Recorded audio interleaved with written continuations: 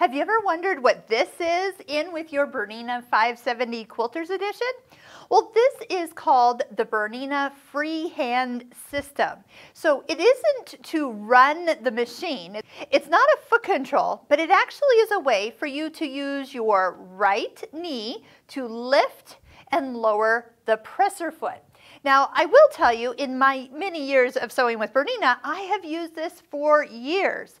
But with the invention of the needle uh, stopping in the down position and the foot popping up and hovering, which this machine has that setting, I don't use it as much as I probably could or should. The machine really does a lot more of that automatically. But there's those of you who will find that this is more the control that you are looking for. So first off, it does fit into this opening. That's what that little symbol's for. And it kind of goes in about 6.30, uh, that angle, 6.30, 7 o'clock. And with that pushed all the way in, right now my presser foot is in the up position, in the locked up position. So I want to show you how I would be using this and what I would do to get the most benefit. Now, we do a lot of things on curves, like the Bernina Stitching Cosmos online course is all curves. So every time I need to kind of pivot oh so slightly, I'm stopping with the needle down, letting that foot pivot up, and then turning my fabric a little bit. Well, that all takes time. So if you would like to have a little bit more control, then the freehand system might be exactly what you're looking for. So you're gonna, I'm gonna point out when I'm using this and then you'll need to watch at the uh, foot what it's actually doing. I've also taken the function off where when I do stop with the needle in the down position that that foot comes up.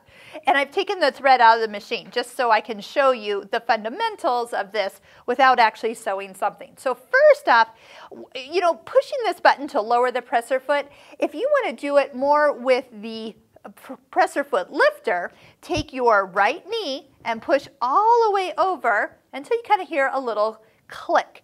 And so when it goes all the way over, it lifts it a little higher, which is great if you have a lot of thick items you're working on. You can get that foot to come all the way up. And then you can just lift it oh so slightly and then shift your fabric. Then when you're ready to sew, release your knee from this bar and then begin to stitch. Now the only thing is, is a lot of us are used to sewing with our right foot. And so doing this and sewing with our right foot becomes and can be where you're trying to do both at the same time.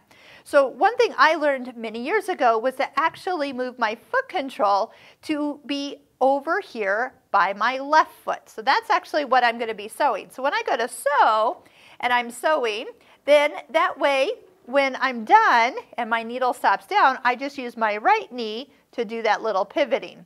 And then I can sew a little bit and then my right knee. Now, funny thing is, is your two legs won't do that same operation at the same time. It's just, it's like near impossible um, unless you try it on purpose. But all in all, when I lift my foot and then I lower and sew, they stay separate. You try to do it in the same foot, that's what we're avoiding. It, they kind of tr try to do it at the same time.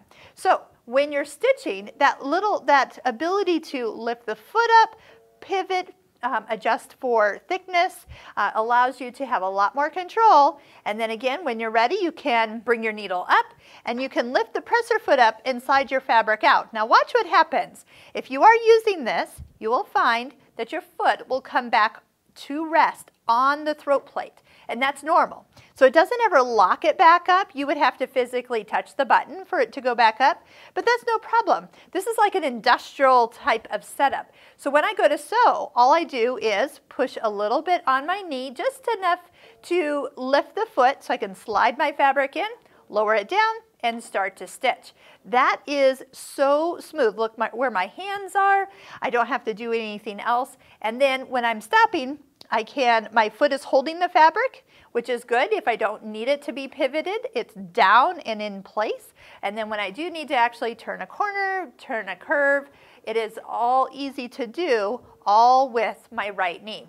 So try those two tricks. Number one, sewing with your left foot trying your presser foot lifter, turn off that automatic lift feature and see if you are a more efficient sewer with this particular system. So I'm so glad Bernina left it in.